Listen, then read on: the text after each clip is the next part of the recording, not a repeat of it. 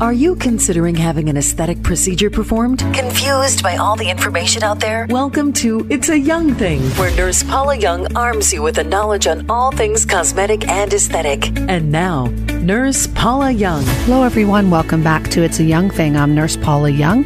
And you know, in previous podcasts, we've been talking about fat in one form or another, either belly fat or leg fat. So today, you know, we're always fighting this battle of the bulge. And so today, I want to talk about a bulge that it's really difficult to hide with clothes. And this is the one that's under your chin, you know, the dreaded double chin. You know, around Thanksgiving time, we call it the turkey neck, but it's there and it's there all the time. And it's something that really can be taken care of in today's world of aesthetic medicine with all these new advancements and technologies and products. Now, the medical terminology for double chin is submental fullness. That's kind of like what you'll hear it talked about on some of the websites for some of the products. And there's three main causes for a double chin. Well, first of all is genetics. If your parents have it, you most likely could get it. Another thing is during the aging process. Know, all these wonderful things happen to us when we age. And one of them is these fat pockets that just pop up everywhere. And one of them underneath a double chin is one of the areas, uh, usually due to hormonal changes and also weight gain. And you don't have to be overweight to have a double chin. And it can actually make you look older than what you really are. And men, you know, they're really uncomfortable, especially if you're in a suit and tie, and you got your tie on, your shirt kind of tightened up there at the top, and you have this double chin and it can be kind of painful and uncomfortable, or you just don't like the way you look in a shirt and tie. In fact, men are mostly seeking treatments for the double chin, um, especially if they're in a professional sort of, of um, career. So, you know, we perform three different procedures for treating the double chins at Young Medical Spa from non-invasive to minimally invasive. So let's talk about the non-invasive ones first. Well, do you remember we talked about CoolSculpting in a previous podcast? Uh, CoolSculpting is freezing your fat with a non-invasive uh, device. Well, Zeltiq, the manufacturers of CoolSculpting got really smart. They're making applicators that fit other areas of the body and one area is under the chin. So they made this really small applicator. It's quite small and it just is big enough to fit in that area. It's completely non-invasive. There's very mild discomfort, if anything. And after the fat cells are frozen, they rupture by gentle massage from the CoolSculpting technician and your body's going to work to eliminate the fat now on its own. So this is when, you know, the white blood cells come in. We call them macrophages. They come in and they carry this fat away to the lymphatic system and the lymphatic system carries it through your body for natural elimination. And, you know, ways that you can help this process is by staying hydrated and exercising. And usually with this treatment, you'll see results starting in about a month that just kind of keep getting better and better. So if you want to know more about CoolSculpting, I would suggest you go back and listen to my CoolSculpting podcast. Um, it'll explain all the details about a CoolSculpting procedure.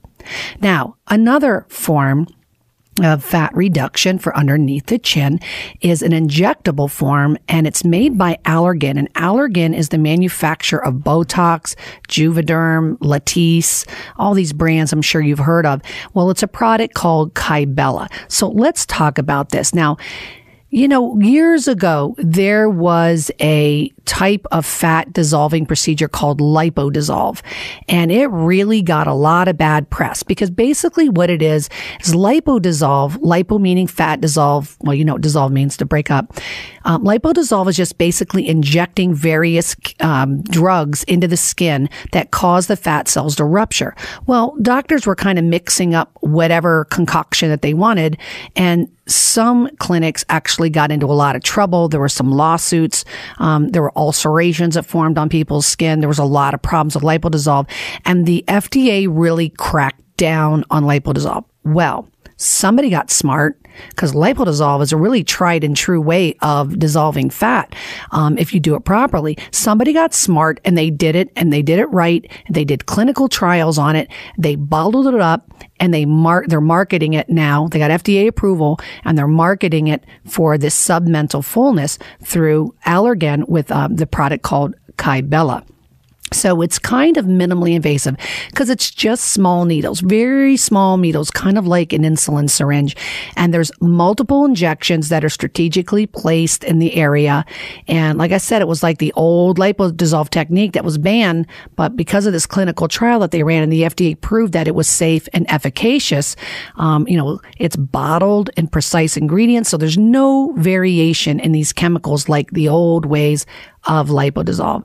So it causes the fat cells to burst and basically killing them. And then your body will dispose of the fat, kind of like the way CoolSculpting did. You know, the fat cells are broken and now you've got this fat product in the interstitial space, which is the space between the cells. And now your body's got to come in and it's got to clean up with the macrophages come in, clean it up to get dispose of the fat through your body's own natural elimination process.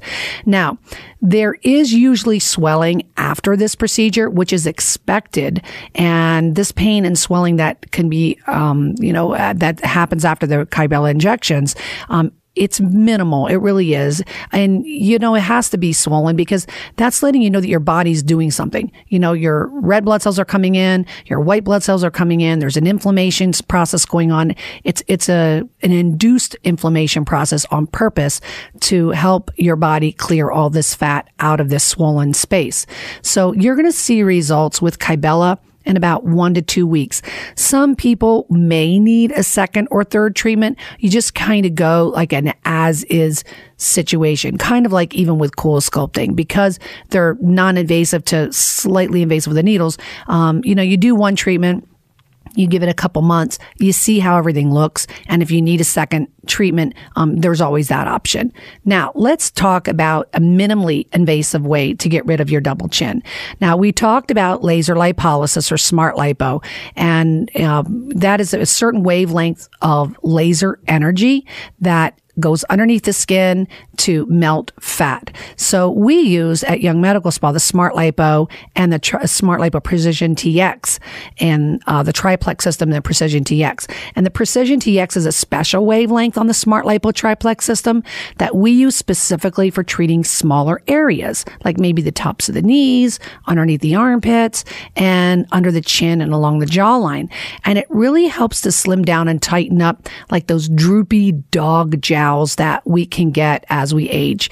Typically with smart lipo, it's usually one treatment. And a unique advantage with this procedure is because we can target now the jowls on the sides of the face that kind of hang down. So just like our smart lipo ep- episode, now this is where I want you to go back and listen to the um, episode we did with Dr. Young, where we talked about smart lipo and what's all involved in the procedure. You want to go back and listen to that podcast so you really get all the details about that. Um, we do use tumescent anesthesia, um, three small small puncture holes in the skin. The tumescent anesthesia numbs everything up. So like uh, some drainage of this fluid is going to be after the procedure, and you will have to wear. Now here's where it differs. You will have to wear a special neck garment for about five to seven days. So there's going to be a little bit more downtime due to wearing this garment.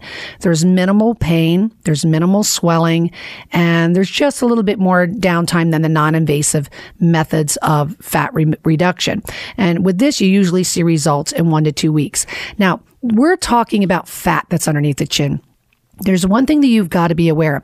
If you just have really not fat there and you just have saggy skin, really the only thing that's going to help you at this situation is going to be a neck lift or a mini neck lift where you need to get this skin really cut up or tightened up or cut out. Um, there's another thing that can happen when you undergo some of these fat reduction systems. Some people have what's called it's a fancy word, platysmal bands. And what it is, it's these really big, thick tendons that come down from like your chin down the front of your neck to almost like in your collarbone area. So when you reduce the fat down, these bands become more prominent. So during your physical examination, when you go in for a complimentary consultation, I know at least in our office, this is one thing that our practitioner checks for is to feel these tendons and see how prominent they are and to be wary of the fact that once you get the fat removed, you may then be left with these these tendons that you can see coming down your neck. Is that going to be better for you? Is it going to be, um, you know, worse for you? So this is something that you really have to think about. Uh, so a physical examination is great. So with any fat reduction, procedure, any body sculpting, shaping procedure, you do want to go to a clinic, to a doctor that offers a variety of treatments and procedures and options because not every person is exactly the same. So that is all I have this week for Double Chins on It's a Young Thing. Thank you so much for joining us. If you want to listen to the other podcasts I mentioned, please check out our website at youngmedicalspa.com. They're all there on a podcast page. They're also available on SoundCloud and iTunes. Thank you so much. We'll talk to you all next week. You've been listening to It's a Young Thing with Nurse Paula Young. If we didn't discuss a topic you're interested in today, be sure to subscribe to our podcast on iTunes so when we do, you don't miss it. The cosmetic aesthetic world can be confusing. We're here to arm you with quality, truthful information from our many years of experience. For even more info, youngmedicalspa.com. This has been a Steve Mittinen social media creation. Steve Mittinen, socialmedia.com. The creators, producers, participants, and distributors of this podcast disclaim any liability in connection with the material expressed herein. This information should not be substituted for individual medical counseling. Information on this podcast is not intended to diagnose or prescribe treatment for any condition. It is intended for educational purposes only, based on the research and experience of Young Medical Spa. Discussion of specific treatments is done only in an office visit directly with the patient. Contact our office to schedule.